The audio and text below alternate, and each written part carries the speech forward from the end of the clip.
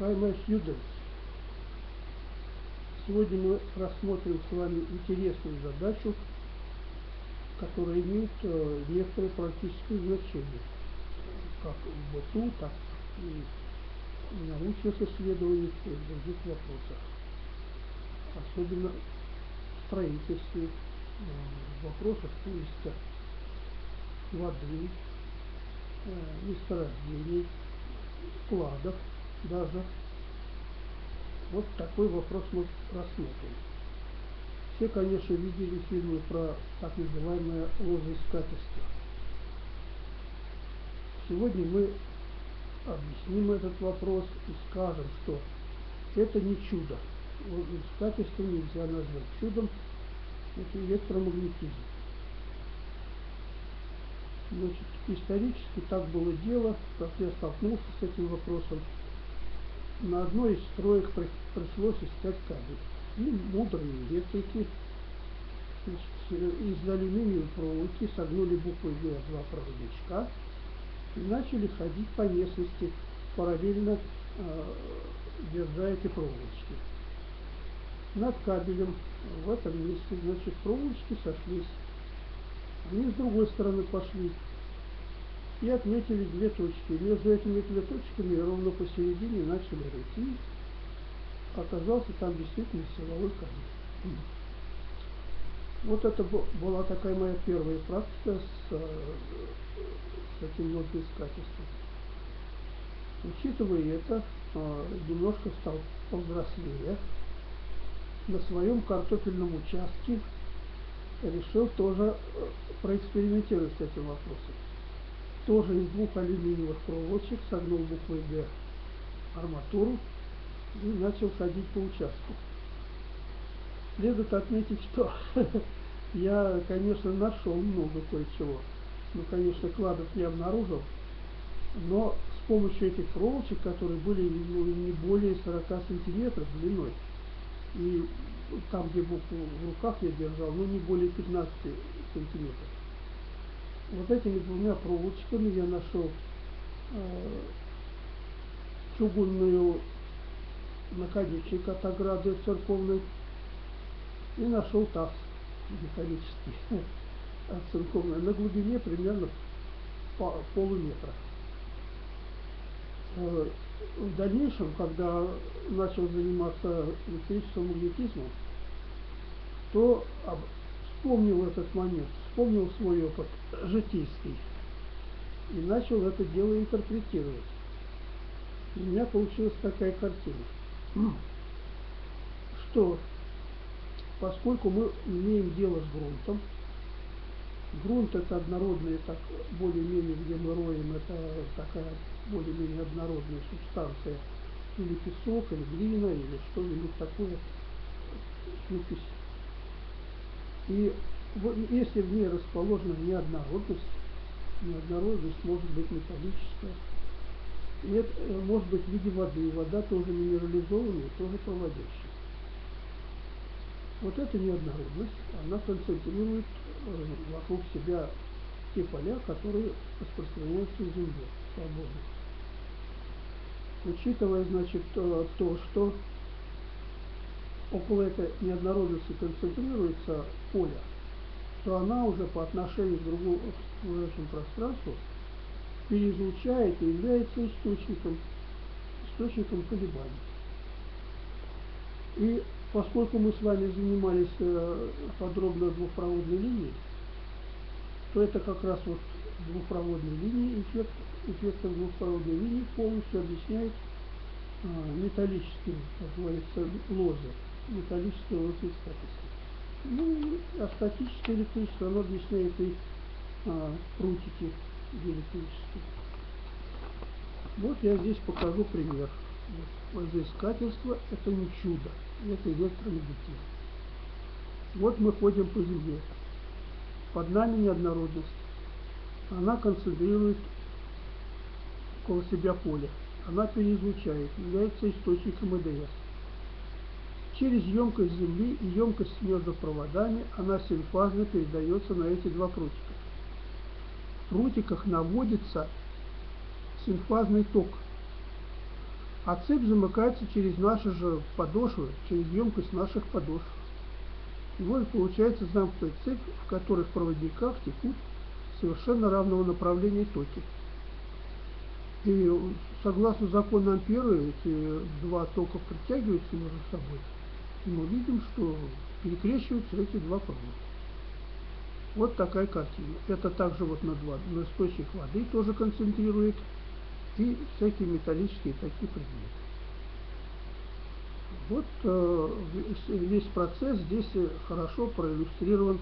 Можно даже численно рассчитать все эти емкости и ЭТС для конкретного примера и посмотреть, как получается токи.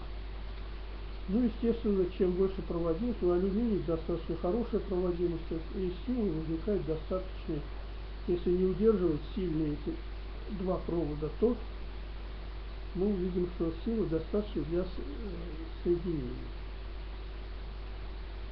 Как же объясняются прутики, ивовые прутики и прочие такие рогаточки, которые применяют, применяли издревно э, первобытные народы для поиска воды.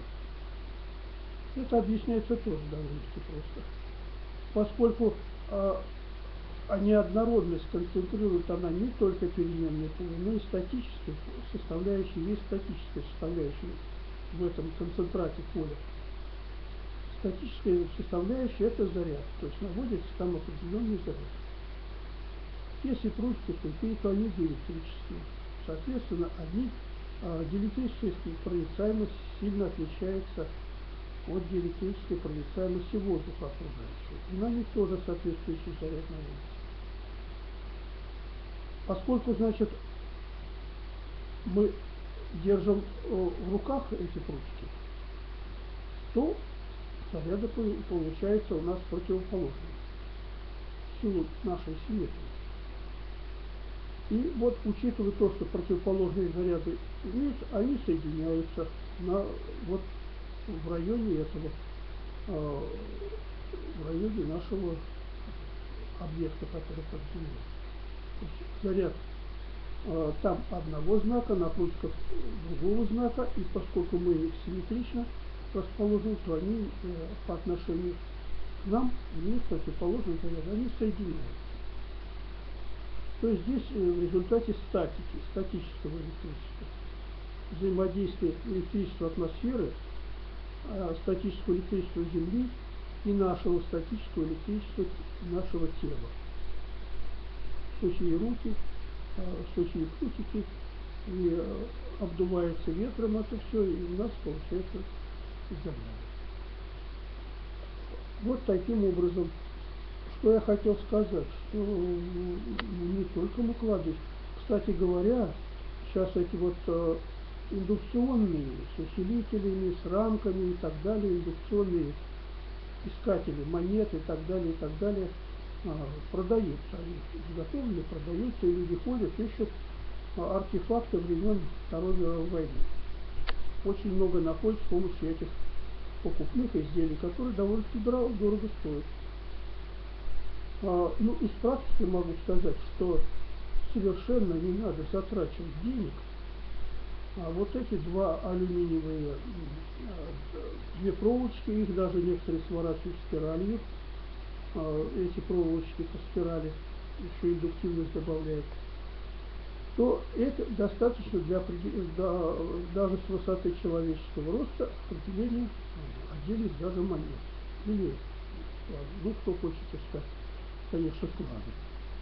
Кто хочет искать артефакты, то тоже не надо этого дела покупать, достаточно этих ручек металлических, алюминиевых, это будет все в порядке. Ну, еще с каких вот а, соображений, какие могут быть еще приложения. Но это я уже сказал, поиск кабелей, кладов воды, поиск подкопов. Кстати говоря, вот э, можно искать подкопы, что очень важно для обороны объектов. И, а даже можно и подводные лодки фиксировать, которые под нами э, проплывают. Металлические подводные лодки, ну и может быть даже отличить их от рыб. И третье приложение, которое напрашивается, это наблюдение за невидимым объектом. Ну, очень многие у нас молодежь, она интересуется НЛО и так далее, и невидимый, тем более сейчас в продажу поступили в США эти плащи-невидимки на основе э, пленки, э, полимерная пленка тонкая, 100, 100 нанометров толщиной. И на нее наносится тоже нанометровый слой меди. Вот покрываясь такой практически невидимой пленкой, сам становишься невидимым.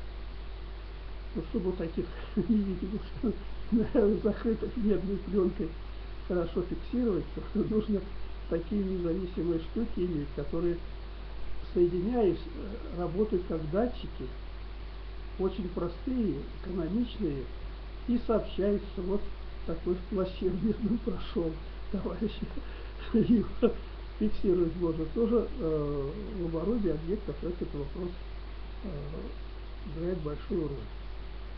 Вот такие приложения. И еще раз покажу, чтобы вы повеселились эту картинку и приложение покажу. Вот такое неожиданное применение простой двухпроводной линии, которой мы уже занимаемся две или три лекции с вами. На этом на сегодня мое сообщение заканчиваю. До свидания, до новых встреч.